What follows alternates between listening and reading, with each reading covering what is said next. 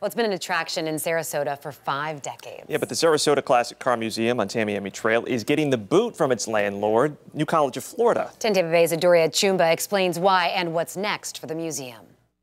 Built in March 1953, the Sarasota Classic Car Museum just celebrated 70 years of continuous operation. Besides the Henry Ford Museum in Dearborn, we are the oldest continuously operating car museum in the United States. So we've been here a while. The structure was purposefully built to showcase vintage and classic cars for a trip down memory lane. You can find businessman John Ringling's 1922 Rolls-Royce Ghost next to his wife Mabel's 1923 Pierce Arrow and a replica of Abraham Lincoln's hearse.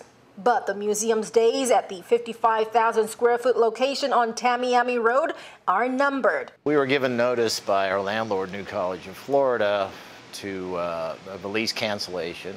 I think we got notice May 16th um, with the timeline of the end of June, which is just around the corner. A spokesperson for the school said New College terminated the month-to-month occupation of the property due to the record growth of the incoming class and provided no further explanation about plans for the property. The owner of the museum says there are 150 classic cars and around 3,000 other historic items in this building. Now with that notice, finding a new home and moving all of these items in what's now a two-week window is a hefty task. This is not something you can do in a week or a month's time. You have to identify a structure, probably renovate, go through negotiations, and, and plan the whole process of moving, and it's, it's a challenge. I mean, it's a total challenge. The museum sees around 30,000 car enthusiasts every year and is among the top listed car museums in the state. Until they find a suitable structure in a prime and equally accessible, undetermined location, the plan is to be ready to adapt to the new dilemma. Be nice to be here a little longer.